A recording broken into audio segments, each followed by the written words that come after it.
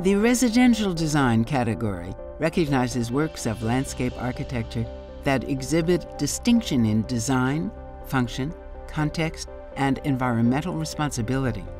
Entries include single or multi-family projects and may be new construction or renovation. Receiving honor awards in residential design are Yard by Two Ink Studio for the Key Development Group. This is an amazing rooftop garden.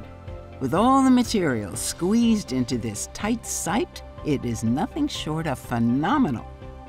Most commendable, noted the jury, is that this roof garden is open to the public during business hours. To have access to all these incredible views, remarked a juror, from what might otherwise be a private garden is truly impactful. Instead of settling for a flat, boxy roof, the developer gave up space that could have been rented. The resulting creative interaction between architecture and landscaping is memorable.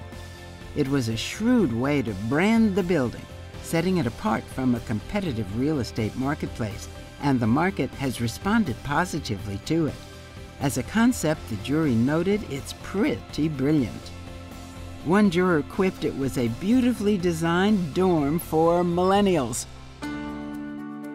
Sustaining a cultural icon, reconciling preservation and stewardship in a changing world by Reed Hilderbrand for Dorrance Hill Hamilton. The jury felt that if you look at the garden before and after it was restored, the transformation is pretty incredible. Among the many creative gestures, the plant palette was switched to be in tune with contemporary practices, and there wasn't any skimping on materials. The project's brilliant outcome is clearly consistent with the Olmsted's original vision. But perhaps most incredible is the fact that anyone can do this buy a parcel of land, and tear down a house for the purpose of restoring a garden. This alone is worthy of being celebrated. It's amazing, jurors exclaimed. Receiving the Award of Excellence in Residential Design is Balcones Residence by Word and Carr Design Group. What I liked about this project, observed a juror, is that this is not a pompous garden, it's not about luxury. Instead, it celebrates the materiality of the location. Jurors applauded the textures of the elements. The coarseness of the plant material plays beautifully off the coarseness of the concrete and the gravel of the driveways.